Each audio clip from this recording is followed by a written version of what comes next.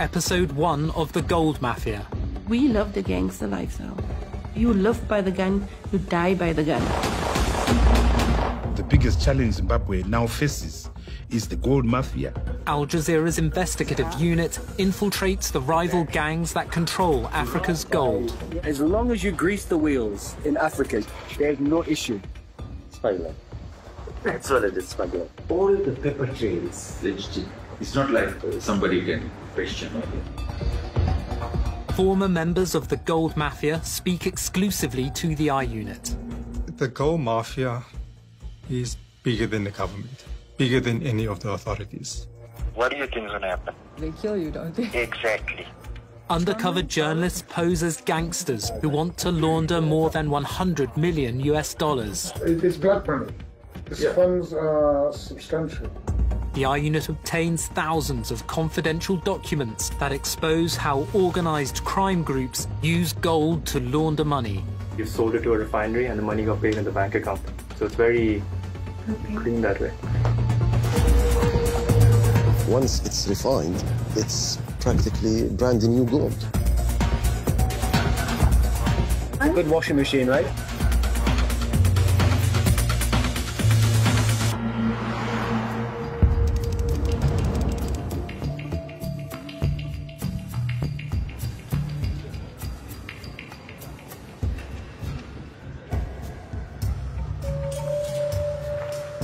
The money to be invested, yes, yes. it's not in the books in uh, Hong Kong or China. It is black money. These yeah. funds are substantial. Is it 100 million? Is it 50 million? Is it 10 million? Is it 20 Is it It's more, more than 100. Okay. Kamlesh Pattni is one of Africa's most notorious gold dealers. He calls himself Brother Paul after founding his own church. We try to move our money to find investment overseas. Mr. Stanley leads the I Unit's undercover team. They're posing as gangsters who need to launder dirty cash from China. It's very important to get the right person. Yeah. It's a starting point. Right? It, yeah. I'm going to give it to you in a very crude way. As way of explanation, they're looking for a hawala system. Yes. To get the money out. Yeah, sure. Johnny is posing as a black market trader, our Hawala man, who moves money across borders without using banks. And the Hawala system is based on trust. Trust. And connections. Yes.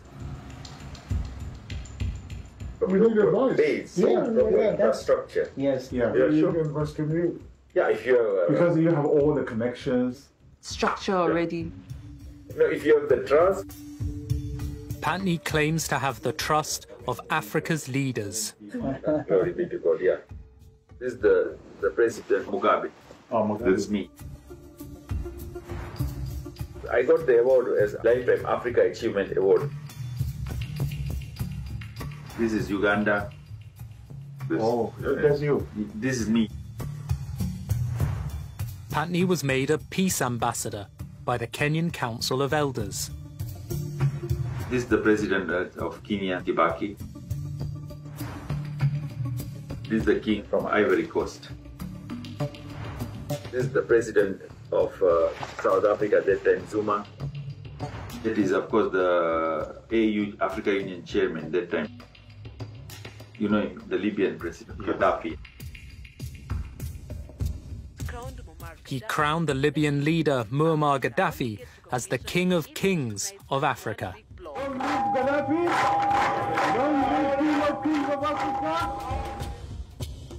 After Gaddafi was killed, the pastor anointed Zimbabwe's President Mugabe as the King of Kings. Mugabe was dethroned in a military coup in 2017. His successor is Emmerson Mnangagwa. Today, we are witnessing the beginning of a new and unfolding democracy for our country. President Mnangagwa is using a UN climate change conference to attract foreign investment. Zimbabwe is open for business. His presidential envoy is also at the conference and agrees to meet undercover reporters. Zimbabwe is like really open for business when we say these things. Okay. Zimbabwe He says he has the president's authority to make a deal with Mr. Stanley. The name is plenipotentiary. Pleni simply means full potential means power. So full power. That means I can sign contracts, I can sign treaties with government without the president getting involved. And then they will be binding. Uebert Angel is Zimbabwe's ambassador at large to Europe and the Americas. He's part of what we call the diplomatic mafia. He's also a self-proclaimed prophet.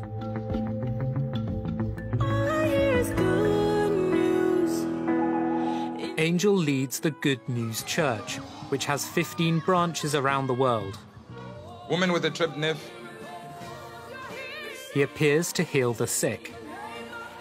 Yeah. It takes the power of God, but it takes somebody to believe for something to happen like this. His prophecies include football scores from the English Premier League. When it comes to football matches, I'm on TV, live TV, talking about it's going to be two. Uh, this one is going to score, this one is not going to score, and it's live around the world. Before a match plays, we'll tell you if it's draw. Today is what? West Ham versus Leicester City, right? I'm just hearing. Both teams scored 2 2, just as Prophet Angel prophesied. Powered by the Holy Spirit, Uebert Angel. We have the men of God working with us.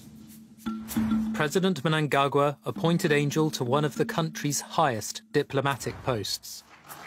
He is my first ambassador at large assigned to promote Zimbabwe brand. We had to subject this young man to training in diplomacy. It's difficult to train a prophet. We were surprised that he did well. Ambassador at large, I'm ambassador to 85 countries. But on the special envoy, I'm a representative of the president. You are representing the president. Yeah.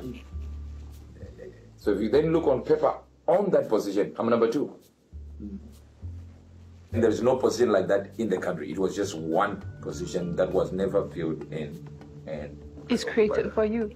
yeah, it was created. so one and only one. One. Miss Sin is another undercover reporter. She's posing as Mr. Stanley's financial advisor. We are the government. Yeah. So That's right. I can call the president now, not tomorrow, now, and put him on speaker. It's not an issue. The president is trying to create a legacy right now. Yeah. So it is the right time to strike now and go like we're in. Angel claims to foretell the destiny of Africa's leaders. Four days before the Ghana presidential elections, Prophet Uebert Angel gave the word of the Lord declaring the outcome. No, it's not the rejection of Mahama. But he that is called Adonana shall remain in power. And you want to know what will happen in the election in Zimbabwe? How many times have I spoken about it? All I'm saying is don't Mnangagwa's win in 2018 is known in advance. political parties. There's no point supporting the opposition. Don't waste your time wearing all these t-shirts and regalia and meeting people at these conferences and these meetings. Just concentrate on Jesus, eh? You waste your time. Mnangagwa will also win Zimbabwe's next election. The deal to launder Mr. Stanley's money is safe. Okay, let me just say, don't worry. You're the Yeah. president. Don't don't worry about it. This president will be president until he dies. That's what that's I, I get your word.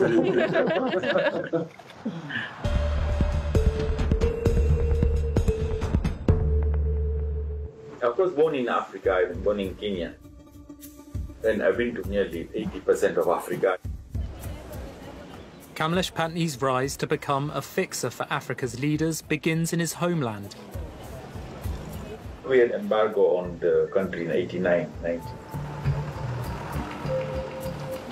It was dictatorship that time. Hmm. It was single party.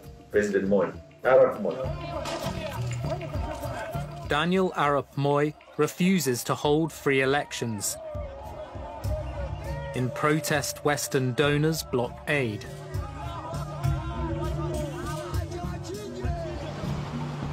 Pattni then has a chance encounter. I was just 24 years old. I was buying a suit in Nairobi and I met director of intelligence. Uh, then I told him about gold. I said, look, there's so much gold flowing through Kenya, but it's nothing Kenya is benefiting. It's not the gold.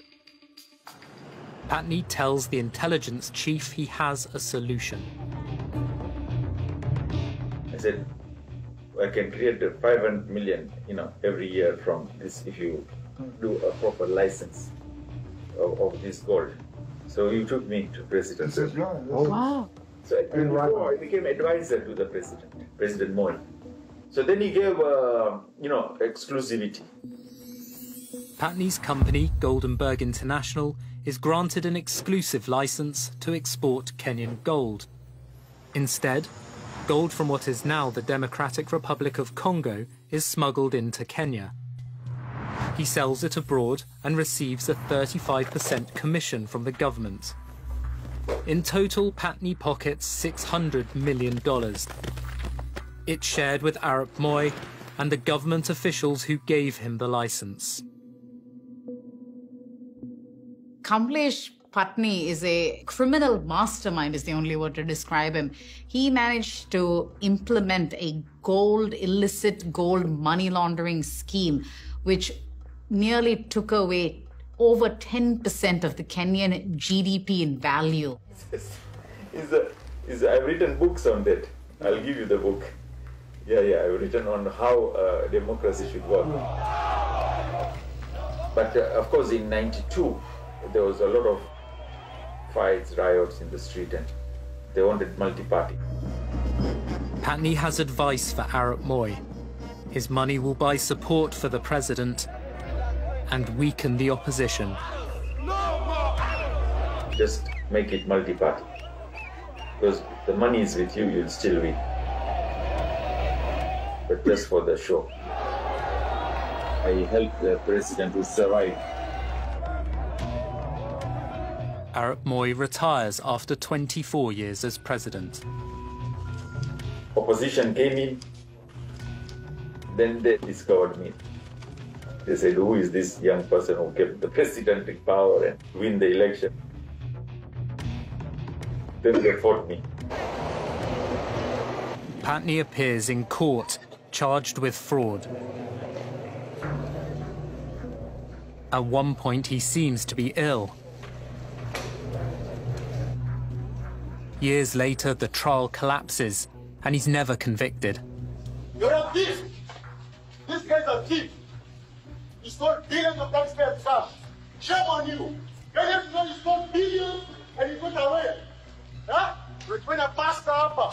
You're a thief! This is just going to enrage me. I know this. The Kenyan courts went after him for nearly 13 years. He was acquitted of all charges scot free. He moved to Zimbabwe to reinvent himself, found new religion, started his own church. Glory be to God. I'm the one who now again changed Zimbabwe.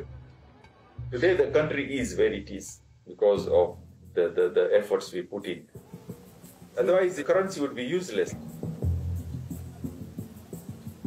In 2008, hyperinflation ravages Zimbabwe's economy. The central bank prints notes valuing billions in local currency. Zimbabwe's financial collapse follows sanctions imposed by the United States and Europe. The West punishes Zimbabwe's leaders for rigging elections and imprisoning opposition politicians. We believe that Zimbabwe should not be a part of the international financial system. That means that they can't transact in dollars. So you have to figure out other ways to do that. And the way to do that is to turn your currency, for example, into gold. Because then you can move across the border with gold and it's not hitting the international financial system at that point in Zimbabwe, With gold, you can just shape shift. You can move the gold without someone tracking it. So, for a lot of autocratic governments, it is, I think, a trend that makes sense. It's much harder to enforce sanctions around it. Pattni makes deals with Zimbabwe's sanctioned leaders, which he claims help its people.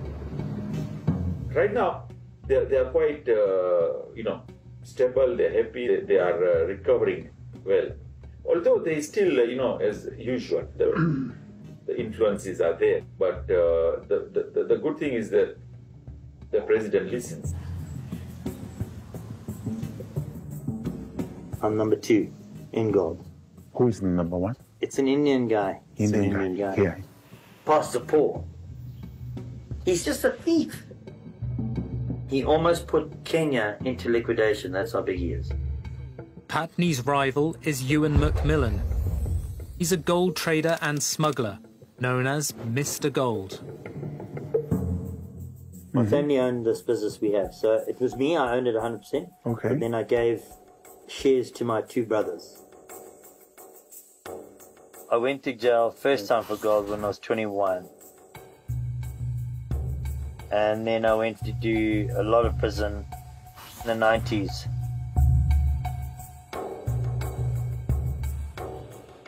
Zimbabwe's gold exports are worth up to $2 billion a year. It's a cash business.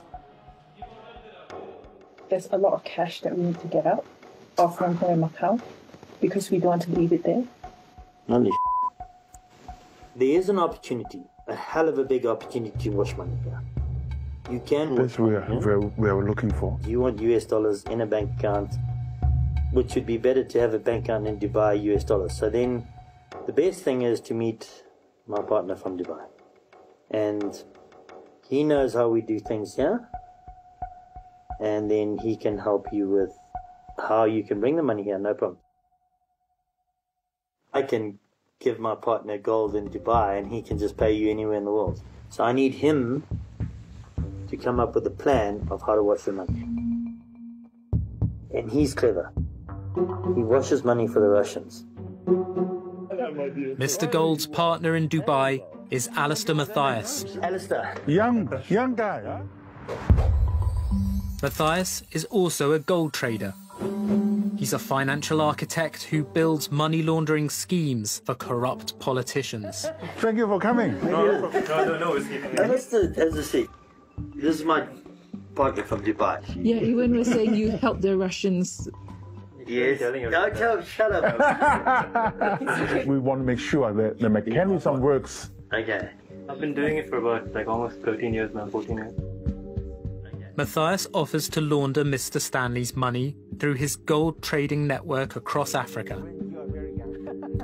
Ghana, I do one ton, so I do 40 million dollars every month out of Ghana. This this region, I do what probably like about 500 to a ton again. Yeah. So I do roughly about 70, 80 million dollars every month. Hmm. So we can export from Zambia. I can export from South Africa. We have a company in Zambia, Angola, uh, ah, Mozambique. We can export from anywhere.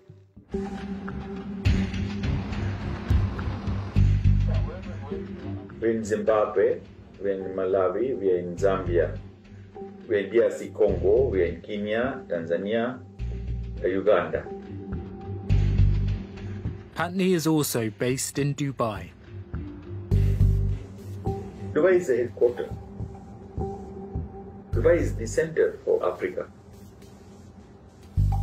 A banking center, financial center, it's tax free. You don't need to have all the paper, you know, too much. Easier to do Yes, things.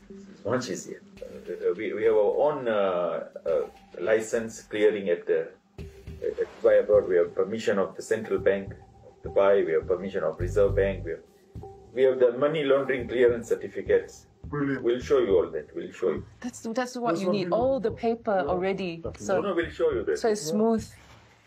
Because I think you have so many structures already. We can just join it. So this one is uh, being come via Dubai. So you can see our Dubai operation. That's where you'll understand the gold more. The one you want to do cash. When you see it physically, you see the process, then you will understand the security of it. Come and see my uh, operations and my team in Dubai. Every day have uh, coming. I think uh, God, God must uh, sent you. I hope to see you again. God bless you. Okay, thank you. Praise the Lord. Praise this. Praise God. Bloody Kenyan. I don't know how, but him and I, we're the same. I do 200 kilos a week. That's what we do. Buy and sell. Macmillan and his rival gold dealer Pattni work for the Reserve Bank of Zimbabwe, the country's central bank. There's a Gold Act in Zimbabwe, which makes the central bank the overseer and control and official dealer of gold uh, in Zimbabwe. The central bank was given that mandate because traditionally all currency has always been backed by the bullion. Small-scale miners produce half of the country's gold. But Zimbabwe's central bank doesn't have enough money to buy gold from them. I think that 80% of the gold mined in Zimbabwe gets smuggled out. They said to me, go out and get all the gold that's being smuggled out of the country. Pattni and Macmillan buy the gold on behalf of the central bank. When a person comes to sell me gold, I don't have to write his name down. I don't have to do anything. I just take his gold, pay him, leaves. I deliver it to the government.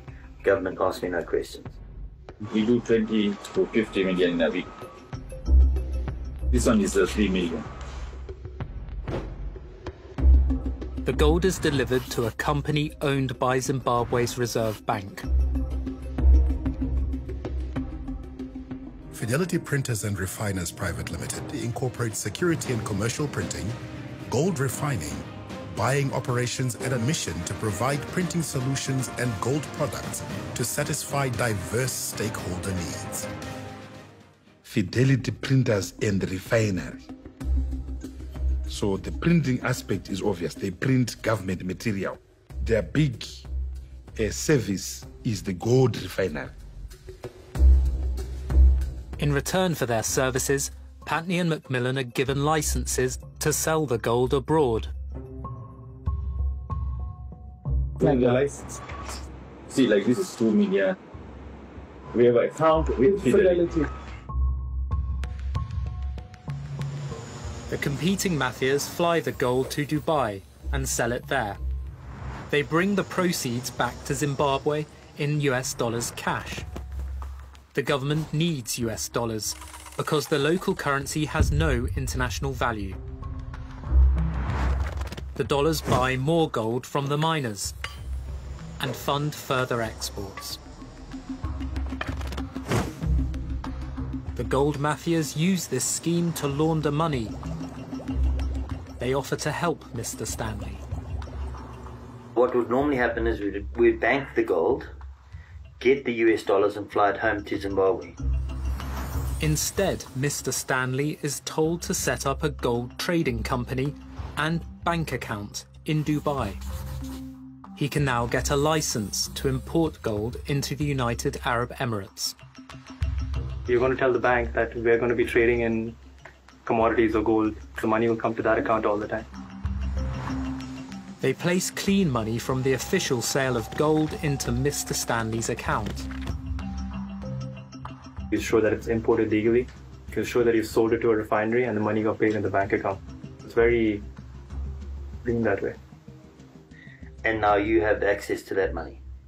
That's your money. And then you're going to give us the US, the US dollars cash from Hong Kong. We're going to come back with that. Mr. Stanley's dirty money will be given to the gold mafia's couriers to bring to Zimbabwe. At Harare Airport, the dirty cash is declared as the proceeds from the sale of gold.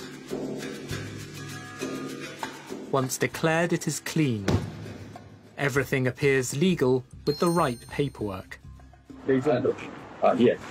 There is a, uh, One million? Cash. US dollar. Yeah, this. The proceeds of the gold export will, in effect, be counted twice. Declared as clean in Zimbabwe and in Dubai. I bring back the cash. That's how I buy the gold again. And the money laundering cycle starts all over again. The only illegal thing is you giving me the US dollars out of Hong Kong. Mm. But they don't know that. Yeah, it's extremely sad. It's extremely sad.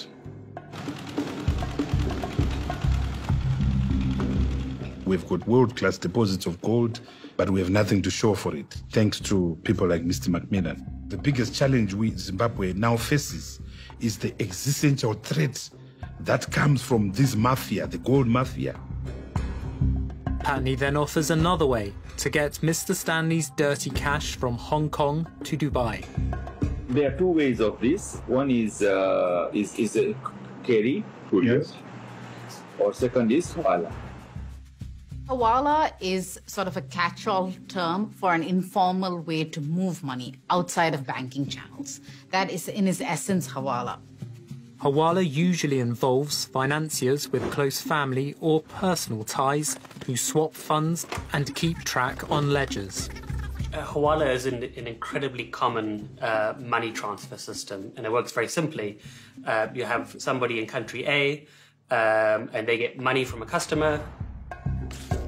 Let's say you want to send a $100. In our case, Pattni's Hong Kong agent would take Mr. Stanley's dirty $100 bill. They will mark it on their ledger as money received. They'll send a message to their counterpart saying, We received this money, please pay out the same amount. Another member of Pattni's Hawala operation in Dubai would pay Mr. Stanley $100. So $100 isn't actually physically sent, but on the other end, there's sort of a settlement of accounts done. The two Hawala agents balance their books over time as customers send money in both directions. On the one hand, it is a legitimate mean, sometimes the only mean for economic migrants to move money, but it can also be used as a way for criminals and criminal enterprises to d- evade detection through the banking system.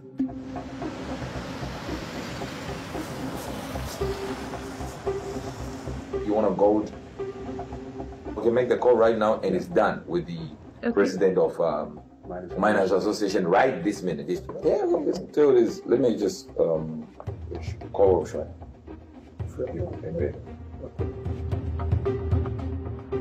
Henrietta Rushwaya heads Zimbabwe's Miners Federation. She's also the president's niece. I've got my people here. Hey, shut up and listen. Bonyara. Let's talk business. Let's talk business. We'll talk about our stories later. Let's talk business. We want to just get gold, the other deals that we normally do with the people, like the one we did in Dubai, where they also want to invest in gold and buy gold, maybe send a private jet, pick, picks up gold every week. Yeah, perfect. No, that's okay. Let's do it, bro. 100 kilos every, 100 kilos every week. Oh, they're taking 100 kilos every week. Okay, Yeah. okay. But why, how many? Getting with the rich folk and then uh, the will. They're, they're getting it at less 4% the world. Very good cost. Yeah. Mr. Stanley is being offered to buy the gold at a 4% discount. They're saying it's very good price. I think you should have said less 3%. Definitely. You should have said less I think it was a 3%. mistake in, in, the, in the language that Because that's, that's the 1%, my 1%. You've just blown my 1%. Rushwaya's plan will clean $5 million a week on a revolving basis. It begins with a payment of $10 million in dirty cash into the government's refinery Fidelity. They bring in 10 million, for instance. 5 million will be put into Fidelity for the duration of their relationship. They get gold worth 5 million every week, they take it out, Bring another five million. This continues until all his cash is cleaned. Henrietta Rushwaya's laundromat can wash even more of Mr. Stanley's dirty money. So instead of bringing 20 million, 10 million, they put it to Fidelity. Half the sum remains with Fidelity. Five million a week is laundered as before, and an additional $5 million will be cleaned through one of Rushwaya's gold producers. Then they give the other 5 million to the producer who can actually add on to their weekly parcel that they take out. Mr. Stanley can now launder $10 million a week. You can easily open an account for them under one of your many companies. We are the only sector in the country that is paid in foreign exchange on cash basis. All right. So when we finish, I'll call you again, then we, we talk. Hope you will be available. Always available. It's here and at your disposal. Thank you. Thank you, sis. The ambassador has a local partner in mind for Mr. Stanley. It's called Billion Group that I own. He is also part of Billion Group. So Billion Group is in Zimbabwe, operating in Zimbabwe, so that when you want a venture, you don't go for someone you don't know. Angel is in Glasgow with President Mnangagwa for the UN Climate Change Conference. Angel offers Mr. Stanley a meeting with the president. We're working on um, your meeting with him. He's at the meeting right now, so Yeah. he finishes around 7, 8, 9. The president, Mnangagwa claims that sanctions hinder Zimbabwe's commitments to a greener economy. the removal of the illegal sanctions imposed on my country will undoubtedly enhance the timely achievement of our commitments. Sanctions limit the ability of Zimbabwe's politicians and state entities to trade. This country has sanctions. So the country can't sell the gold anywhere in the world. So an individual can sell it because he doesn't have sanctions. Macmillan has family ties to another businessman involved in assisting the government to break sanctions. He bankrolls this whole country.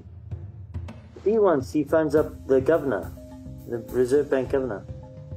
Hi, I want a meeting. Okay, fine. What time? Uh, free at 11. I'm coming 11. Okay, fine. He owns one of South Africa's largest cigarette manufacturers. He has a brand named after him. Simon Rudland runs his own mafia through his company Gold Leaf Tobacco. He's known as the boss. He's, he's massive. He is one mother, my friend. You have no idea how big he is. Rudland exports more gold than Macmillan and Pattni and has a different deal with the government. He's connected to Zimbabwe's ruling elite. His business partners include a retired general, a former sanctioned energy minister, and Mnangagwa's former Minister of Foreign Affairs. An ex-minister of mines buys a company from Rudland for over $800,000.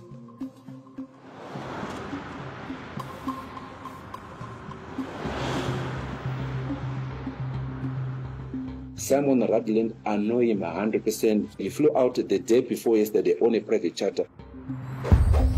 Moses Nango works for South African Airways at Harare Airport. He offers to help the I Unit's undercover team to smuggle gold. I've been working at the airport for the last 23 years. I've been helping people to move gold. I've been helping people to move money. I've been helping people to, you know, to move diamonds. Moses describes how Rudland and his gold leaf mafia break sanctions on behalf of the Reserve Bank. Simon Rudland has got a special deal. What they do is once if they get the gold, they get the escort all the way to the airport.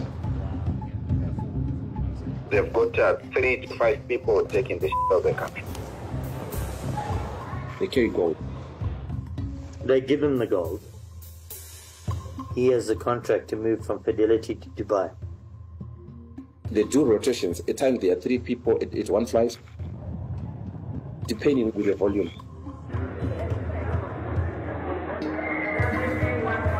When they get by the security checkpoint, their bags are exempted to search.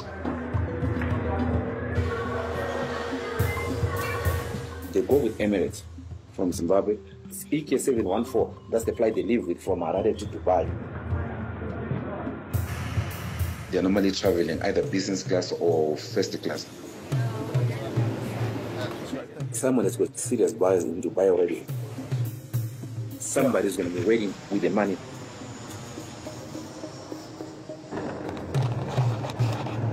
The couriers exchange the bullion for cash and take the next flight back to Harare. The same flight they left with, that's the same flight that they, they come back with. EK713 when it's leaving Dubai. The couriers pass through immigration at Harare Airport.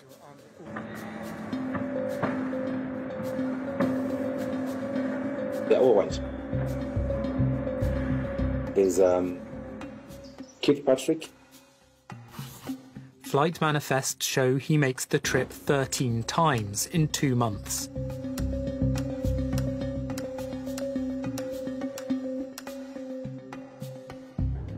An I-Unit surveillance operation observes Rudland's couriers at work.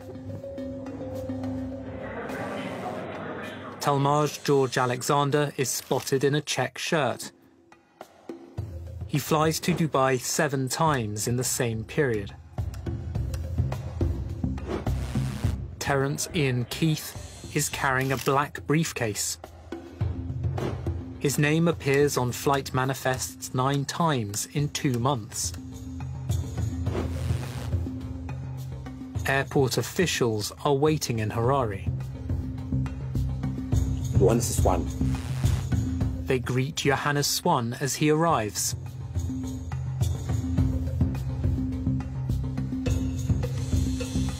Johannes Swan Sr. and his son Johannes Jr. appear on flight records a total of 10 times. There's um, Peter Bowen.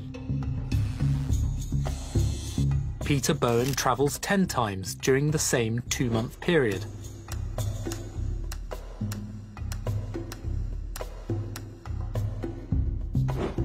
The I-Unit obtains a reserve bank document authorizing Peter Bowen to export over 66 kilos of gold from Zimbabwe to Dubai.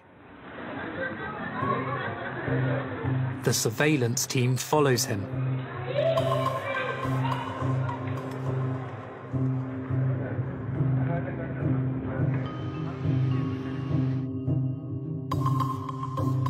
Bowen lands in Dubai at 6.40 in the morning. He hands over the gold and waits in the airport lounge. Just three hours after he arrives, he's back on the plane. When they get here to Harare, they just come outside by the arrival exit, hand over the cash, get another consignment, got on on the same flight, going back again. Rudland's couriers earn cash for Zimbabwe's leaders in breach of Western sanctions. Government says to him, I've got 400 kilos to move to Dubai. Then he exports the gold to Dubai and then brings the money back and gives it to Fidelity. The gold is sold to a Dubai company, Orlean Global Trading. Orlean is also part of Rudland's business empire. It receives millions of dollars from the accounts of Rudland's company, Gold Leaf Tobacco. The government broke here, so they don't have enough money to buy the gold. So he says, okay, don't worry, I'll lend you the money to buy the gold. Rudland finances the sanctions busting operation by providing an advance payment to Fidelity. He gives Fidelity the money to buy the gold for him to export. Fidelity's debt with him is at any one time 200 million, 250 million. That is huge. I think we are losing about a billion US dollars in illegal gold exports, which is a euphemism for gold smuggling. I think we are losing about a billion US dollars, and Simon Rudland is at the center of that.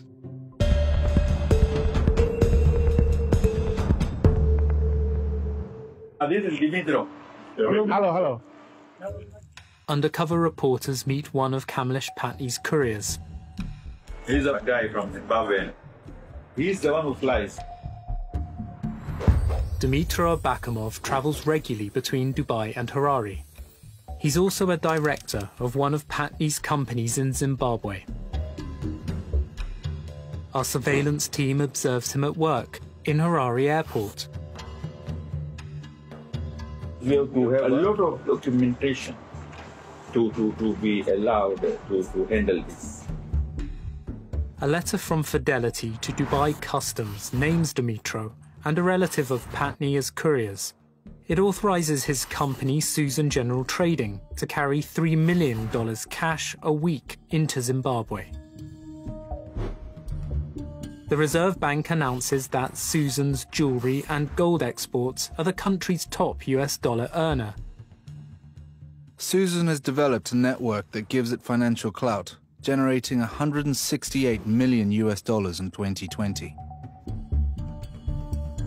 Susan's business is considered so valuable in generating hard cash for Zimbabwe that the government pays it a bonus worth 18% of its exports.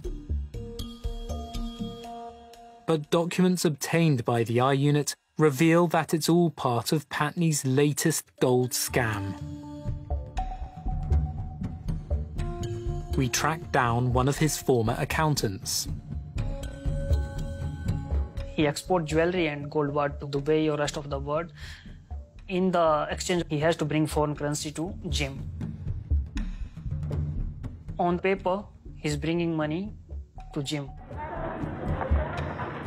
When Pattni's couriers return to Harare from their Dubai trips, they declare their cash at the airport.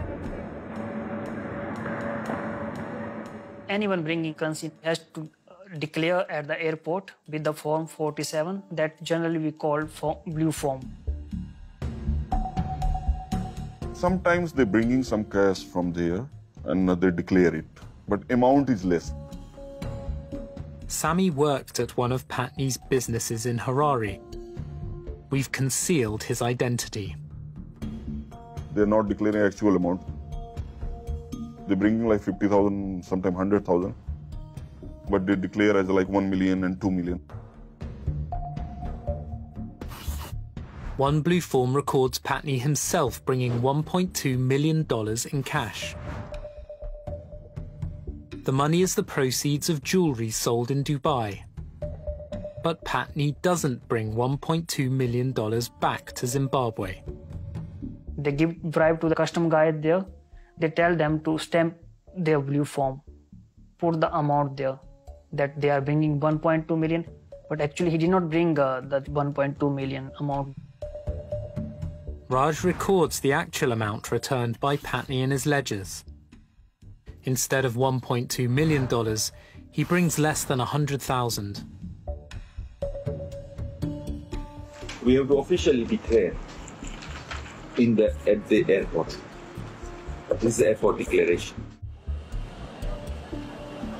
He leaves the bulk of the money from the sale of gold in Dubai. Customer Where did we go to? declaration.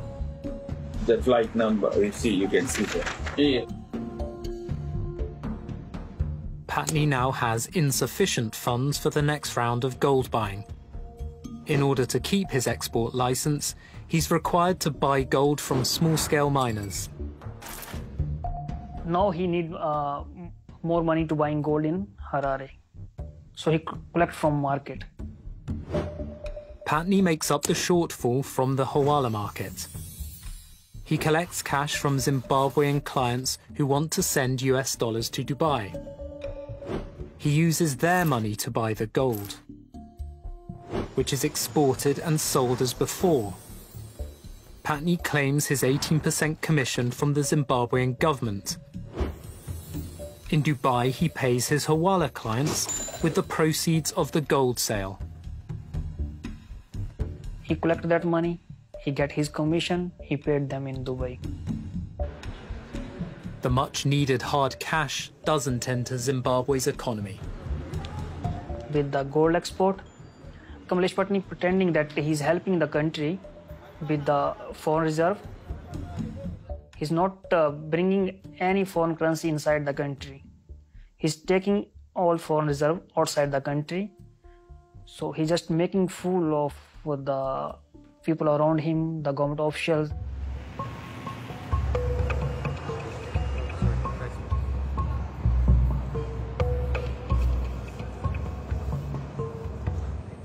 I'm not stupid. I have two degrees in finance. So I've done a lot, okay? I'm in the Forbes magazine. I've been in the Forbes rich list of uh, 2013. Yes. Yeah, Africa Forbes rich list. Yeah. And remember, I'm also a minister of the gospel. Yeah, yeah. We will bring the capital, the cash. Basically, we we want to invest the money. Yeah, and Uh, what, what, what Mr. Stanley is saying is it's money that cannot be declared in the country of origin. We've already discussed it. That we don't, that we, that we don't want to talk about. But we have the blessing and it won't get us in trouble. Trust me, I've already, I did this, okay? This is what I told you. And we got that. Okay? This is gonna be how much? at the beginning, at least one million something. One billion. Yeah. Now, we have done maybe 200 million, 300 million, but we have not done for 1 billion per se. Angel and his assistant take Mr. Stanley aside. I'm doing, I'm the second largest diplomat in the country. Do you know I can carry him in a bag and nobody's allowed to touch his bag? I can carry him in a bag and nobody touches the bag. Right now, I can I can put a bag like this with 1.2 billion and put a red tape written diplomat. That's it. He'll use his diplomatic cover to fly Mr. Stanley's $1.2 billion into Zimbabwe. So it's a very, very easy thing. It will land in Zimbabwe. Zimbabwe can't touch it. Yeah, yeah, yeah. Until I get to my house. Yeah. Yeah, you can understand. Oh, So you can be a diplomatic player.